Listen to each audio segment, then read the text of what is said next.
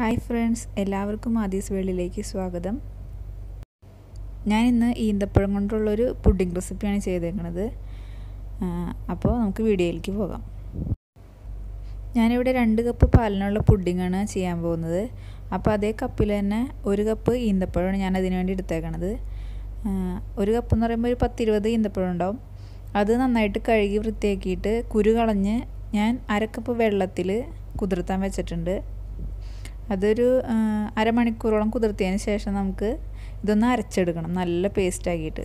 ഇതിപ്പോൾ ഞാനിവിടെ ഈന്തപ്പഴം മിക്സിയുടെ ചെറിയ ജാറിലിട്ടിട്ട് ആ കുതിർത്താൻ ഒഴിച്ച വെള്ളം മാത്രം ഉപയോഗിച്ചിട്ട് നന്നായിട്ട് പേസ്റ്റ് പരുവത്തിൽ അരച്ചെടുത്തേക്കുന്നതാണ്. ഇനി നമുക്ക് ഇതിലേക്ക് വേണ്ടത് ചൈന ഗ്രാസ് ആണ് അത് ഇതിൽ ഞാനൊരു എട്ട് ഗ്രാം എടുത്തിട്ടുണ്ട് അതിലേക്ക്. അപ്പോൾ നമുക്ക് ആദ്യം തന്നെ നമ്മൾ എടുത്തതാണ് ചൈന ഗ്രാസ് കുറച്ച് വെള്ളത്തിൽ നമുക്ക് അതൊന്ന് കുതിർത്താൻ വേണ്ടിയിട്ട് വെക്കാം. ഇത് കുതിർത്താൻ വേണ്ടിയിട്ട് ഞാൻ ഇവിടെ ഒരു അരക്കപ്പ് വെള്ളം എടുത്തു. എന്നിട്ട് നമുക്ക് കൈ കൊണ്ടൊന്ന് ജസ്റ്റ് ഒന്ന് പ്രസ് ചെയ്ത് കൊടുക്കാം വെള്ളത്തിലേക്ക്. ഞാൻ ഇവിടെ ഒരു സോസ് പാൻ എടുത്തിട്ടുണ്ട്. നമുക്കപ്പോൾ ഇത് രണ്ട് കപ്പ് പാലാണ് ആവശ്യം. അപ്പോൾ ആ രണ്ട് കപ്പ് പാൽ ഇതിലേക്ക് അളന്നൊഴിക്കുക ഇനി നമുക്ക് സ്റ്റൗവിലേക്ക് മാറ്റാം. എന്നിട്ട് ഈ സ്റ്റൗ കത്തിച്ചിട്ടൊരു മീഡിയം ഫ്ലെയിമിൽ വയ്ക്കുക ഇനി ഈ സമയത്ത് തന്നെ നമുക്ക് ചൈന ഗ്രാസ് മെൽറ്റ് ചെയ്യാൻ വയ്ക്കാം അത് ലോ ഫ്ലെയിമിൽ വേണം വെക്കണം എന്നുണ്ടെങ്കിൽ ഇനി പാൽ നമുക്കൊന്ന് ഇളക്കി കൊടുത്തുകൊണ്ടിരിക്കണം. അതുപോലെ തന്നെ ഇടയ്ക്ക് ചൈന ഗ്രാസും ഇളക്കി കൊടുക്കണം. അല്ലെങ്കിൽ ഇത് അടി പിടിച്ചിട്ട് കരിഞ്ഞു പോവും. ചൈന ഗ്രാസ് നമുക്ക് പെട്ടെന്ന് തന്നെ ഇത് മെൽറ്റായി കിട്ടും. അപ്പോൾ ഇത് ഓഫ് ചെയ്ത് വെക്കണ്ട. അത് ലോ ഫ്ലെയിമിലിട്ട് വെച്ചാൽ മതി. ഇടയ്ക്കൊന്ന് ഇളക്കി കൊടുത്താൽ മതി. കാരണം എന്താ വെച്ചാൽ ഓഫ് ചെയ്ത് വെച്ചത് പെട്ടെന്ന് കട്ട് പോവും. അപ്പോൾ പാൽ നമുക്ക് ചൂടായി തിളയ്ക്കണ്ട. തിളച്ച് തുടങ്ങുമ്പോഴേക്കും നമുക്ക് ഈന്തപ്പഴമൊക്കെ ഇതിൽ മിക്സ് ചെയ്യാനുള്ളതാണ്. അപ്പോൾ ആ സമയം വരെ ഇത് ലോ ഫ്ലെയിമിലിട്ട് തന്നെ വെക്കുക. ഇടയ്ക്ക് ഇളക്കി കൊടുത്തുകൊണ്ടിരിക്കുക അപ്പോൾ പാൽ നന്നായിട്ട് ചൂടായിട്ടുണ്ട്. ഇപ്പോൾ തിളച്ച് തുടങ്ങാറായിട്ടുണ്ട്. അപ്പോൾ നമുക്ക് ഇതിലേക്ക് നമ്മൾ പേസ്റ്റാക്കി വെച്ചാണ് ഈന്തപ്പഴം. അത് ഇതിലേക്ക് ചേർത്ത് കൊടുക്കാം. എന്നിട്ട് ഇത് ഈന്തപ്പഴം ചേർത്തതിന് ശേഷം ഒരു മിനിറ്റ് ഇതുപോലെ തന്നെ നന്നായിട്ട് ഇളക്കി കൊടുത്തുകൊണ്ടിരിക്കുക. ഒരു മീഡിയം ഫ്ലെയിമിലിട്ട് തന്നെ. ഹൈ ഫ്ലെയിം ആക്കണ്ട. പിന്നെ ഞാൻ ഇതിലേക്ക് മധുരത്തിന് വേണ്ടിയിട്ട് ഒരു അര കപ്പ് കണ്ടൻസ്ഡ് മിൽക്ക് ചേർക്കുന്നുണ്ട് നിങ്ങളുടെ മധുരത്തിനനുസരിച്ച് ചേർത്ത് കൊടുക്കുക.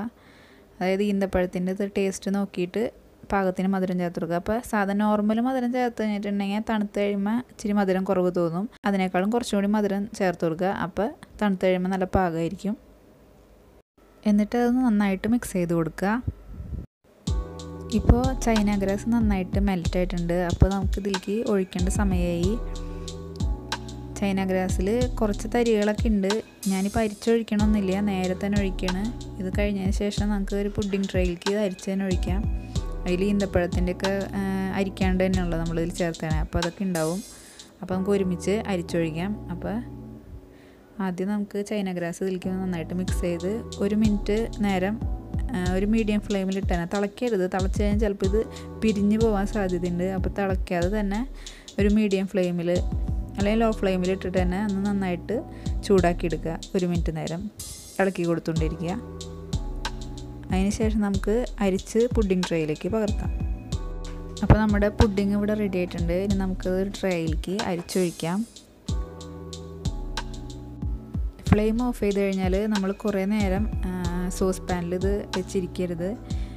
അത് ചൂടാറുന്നതിന് മുന്നേ തന്നെ നമ്മൾ ഈ ട്രേയിലേക്ക് ഒഴിക്കുക. അല്ലെങ്കിൽ അതിൽ തന്നെ ഇരുന്നത് സെറ്റായി പോവും.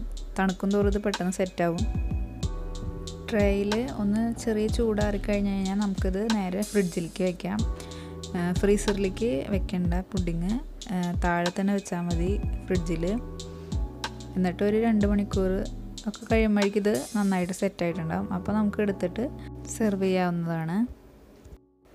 ഞാൻ ഇത് ഫ്രിഡ്ജിൽ നിന്ന് എടുത്തു കഴിഞ്ഞാൽ ഈന്തപ്പഴം കൊണ്ടും അതുപോലെ ബിസ്ക്കറ്റിന്റെ പൊടി കൊണ്ടും ഒന്ന് ഗാർണിഷ് ചെയ്യുന്നുണ്ട്. അപ്പോൾ ഈ വീഡിയോ നിങ്ങൾക്ക് എല്ലാവർക്കും ഇഷ്ടമായെന്ന് കരുതുന്നു. ഇഷ്ടമായാൽ നിങ്ങൾ എല്ലാവരും ഇതൊന്ന് ട്രൈ ചെയ്ത് നോക്കണം.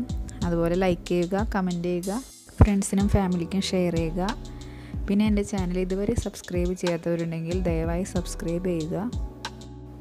അടുത്തുള്ള ബെല്ലൈക്കൺ കൂടി ക്ലിക്ക് ചെയ്താൽ ഞാൻ നെക്സ്റ്റ് വീഡിയോസ് വരുമ്പോൾ അതിന്റെ നോട്ടിഫിക്കേഷൻ കിട്ടുന്നതായിരിക്കും. താങ്ക്